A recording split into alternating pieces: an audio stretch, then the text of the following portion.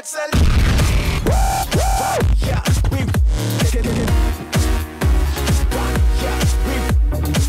yeah, yeah, we Let's go bitches, benvenuti a questo nuovo episodio di Power Personal Trainer.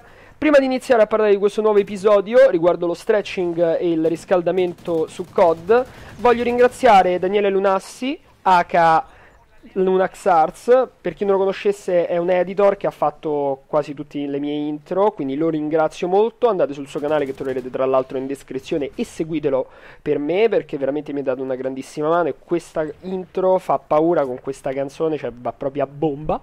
Comunque, tralasciando questa piccola introduzione, partiamo subito con il video. Allora, quante volte, allora io parlo, anzi, parliamo prima di me. Allora, io tante volte quando accendo COD mi trovo a giocare le prime partite male, perché ho le mani fredde, sono appena tornato che stavo fuori e faceva freddo, non, non sto con la mentalità di COD, sto pensando ad altre cose, non riesco a essere concentrato, non riesco a essere preciso e così via.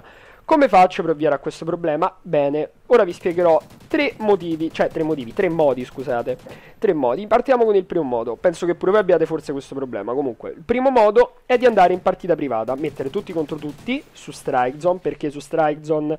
Perché è una delle mappe più piccole e mettere il radar attivo. Questo perché almeno vi troverete e saprete dove stanno i vari avversari, quindi almeno avrete la possibilità di andargli contro e loro contro di voi senza che vi state a cercare per la mappa.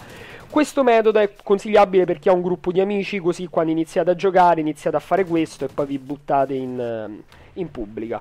Comunque è fattibile anche con i bot, ma il mio consiglio è di farlo con gli amici perché giocate contro persone reali è sia più divertente perché vi divertirete con vita doppia, sia perché ehm, è diverso giocare contro una persona reale che contro un bot. Comunque, questo perché? Perché quando uno gioca a vita doppia, per prima cosa, essendoci la salute maggiore, bisogna colpire molto di più il petto e la testa perché sono punti fondamentali.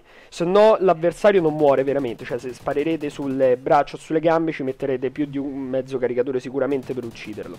Se vi sparano per primi, dovete essere più precisi ehm, a sparare all'avversario nei punti giusti in modo da ucciderlo prima che lui vi uccida. Quindi è pure un fatto di reazione, non solo di precisione.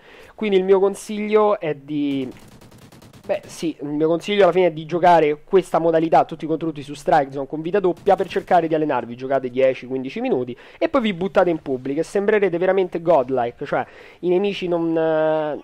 Veramente sembra- cadranno come burro, sarete precisissimi, con un caricatore di Remington che a 24 colpi farete quintuple e sextuple tranquillamente, perché eh, siete abituati, a- avete giocato quei 10-15 minuti che vi hanno abituato a giocare con una salute doppia rispetto al normale, quindi vi hanno praticamente allenato, o vabbè si può dire un piccolo riscaldamento, stretching per iniziare a COD.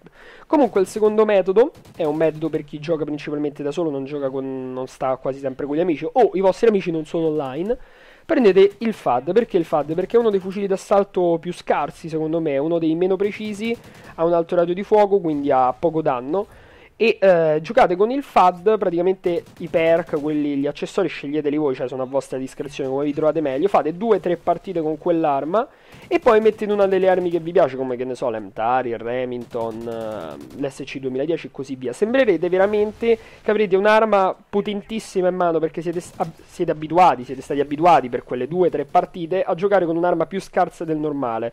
Poche però vi siete tagliati una mano, avete giocato senza una mano per tanto tempo e poi ve la siete riattaccata e avete iniziato a giocare bene. Questo eh, è proprio il concetto, praticamente. Vi dovete autoamputare utilizzando il FAD per poter poi giocare meglio. Questo è il mio primo, diciamo, il secondo metodo. Il terzo metodo è di fare una combo, cioè del primo e del secondo andare in tutti contro tutti in privata su Strike Zone con il FAD, con i vostri amici e macinarvi di kill per 10-15 minuti. È follia perché ci metterete un caricatore per uccidere un, un, avversario, però questo vi allenerà molto perché poi come prendete in mano un Remington in pubblica che dà 2-3 colpi massimo, farete veramente cos'è successo, cioè sto giocando a un altro gioco. Quindi questo è il mio consiglio per come riscaldarvi quando tornate a casa, quando accendete COD immediatamente o passate da un gioco all'altro, ne so, stavate giocando a Battlefield e passate a COD, no, quindi non vi ritrovate molto. Ecco, questa è una prima cosa che si può fare all'inizio quando ritornate su COD. Spero che vi sia piaciuto questo video, fatemi sapere ai prossimi Power Personal Trainer, bitches!